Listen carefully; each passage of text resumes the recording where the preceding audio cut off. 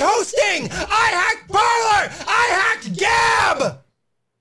I hacked Truth Social. I hacked Go Give Send Go. I don't care. Hi, folks. Welcome to Cordisco's Corner.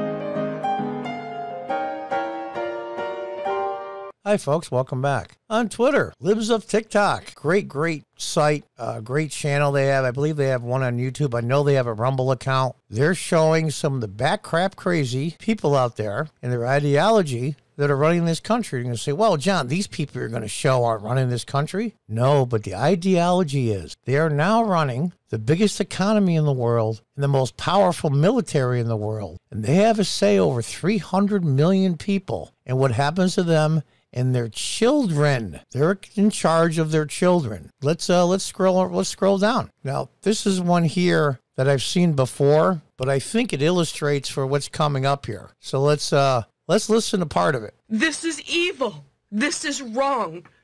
The Republicans have to stop. I'm terrified.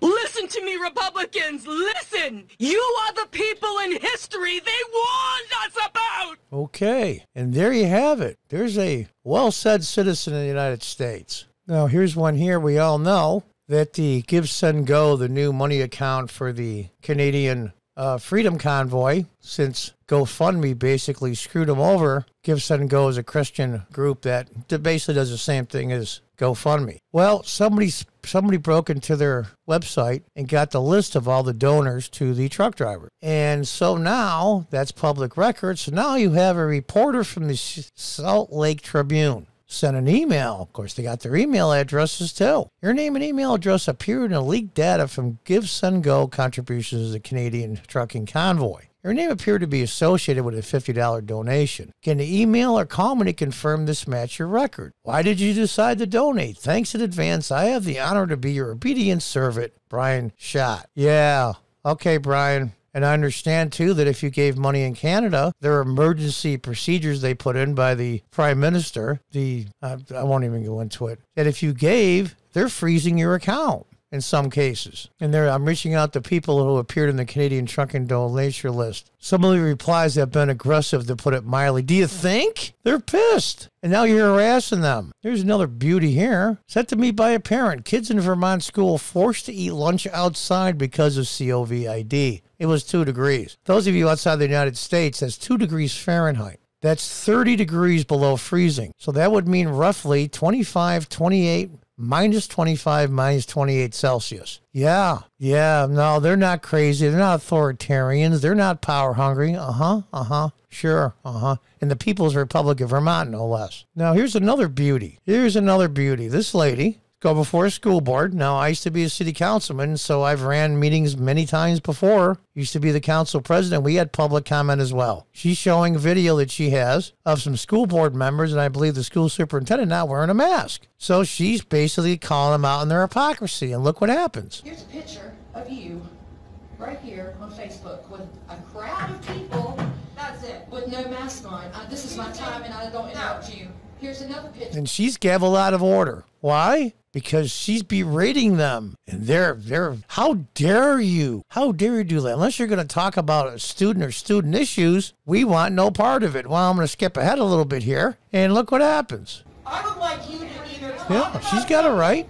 You can talk about something that you concerns our school.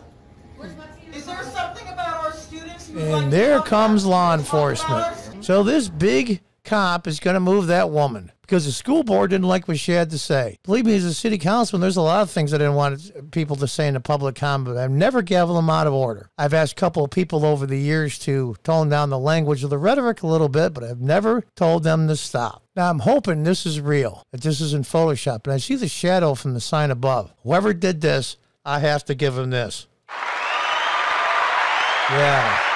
Yeah, very well done. Oh, that that's great. That's a beauty. Here's a beauty. My son attends Thurston High School. Today he was escorted from class for COVID exposure. The woman who escorted him was Kimberly Pelster, the ass principal. I like that. It's supposed to be assistant. I like her style though. On the way to the office, she asked him if he had vaxxed, was vaxxed. He said no. Then she asked his age. He said 15. Then she proceeded to tell him he can choose to get vaxxed if he wanted to without telling his parents. You can get an abortion too in many states without telling your parents. Isn't that isn't that open of them? This one here I really won't go into because it was just I mean, I don't have enough Dramamine for the nauseousness.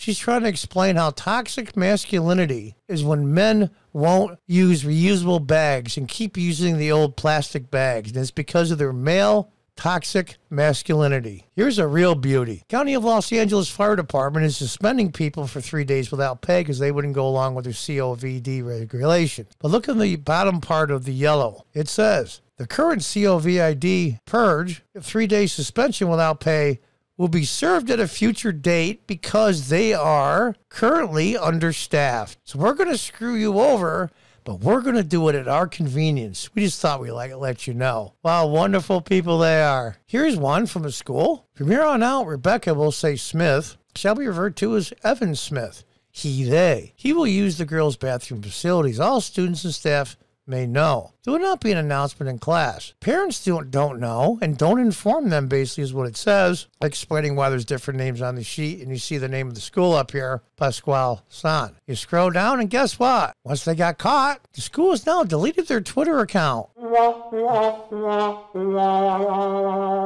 Yeah. What a bunch of scumbags. Now, this one here is short. Somebody come into, a, I assume it's a school, looks like, they were assaulted this parent who wasn't wearing a mask. Look at these guys. Look at the size of this woman. Whoa, whoa, whoa!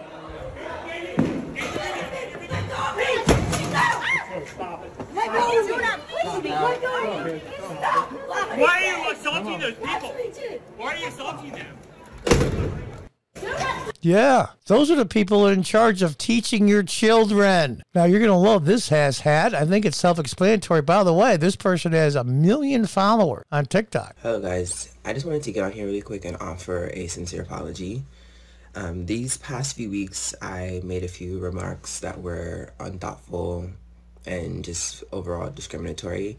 I did refer to white people as aardvarks um, pink nipple bitches. I have called white women in the past struggling actresses, and I do feel as though there is a better way these messages that I'm trying to get across can be conveyed. And so what I really meant to say was, you crystal methamphetamine powdered iguanas can suck one. How impressive. How impressive. I'm sure his mother's real proud of him. This is a million followers. This is what young people follow. Look at this genius with all the masks. Now, let me give you a fair warning now on the language. This is the asshat that supposedly hacked into Give Send Go. He's Canadian. And he is bragging about it. And look at the way his body moves and the look in his eyes and his face. These people are nuts you know, I guess the, the video speaks for itself. Now, be careful now because there is language involved. Fair warning. Nothing scares me. Nothing. Nothing scares me. Nothing. Yes, I doxed the truckers. I did it. It was me. I hacked Give Send Go, baby. And I do it again. I did it. I did it. Come at me. What are you going to do? These are the people that are in charge of major things. This guy exposed tens of thousands of people to an illegal order from Canada. Look how insane and twisted he is. Look how his body turns, contorts. These people are nuts. These people are nuts. Oh, what are you gonna do to me, huh? I mean, look at him like twisting and turning or whatever the hell he, she, they, it. Look at them turning and twisting. They're insane. They're insane. They should be put in an asylum or heavily medicated. And millions of people, especially young people, follow asshats like this. I Epik Hosting! I hacked Parler! I hacked Gab! I hacked Truth Social! I hacked Go! Give Send Go! I don't care! And there you have the ideology that is now running this country. Let's leave it off on that fine note. Good Lord. Let's see what happens. They're losing and they know it. I hope this stands. I hope they continue losing. Until next time, goodbye and good luck.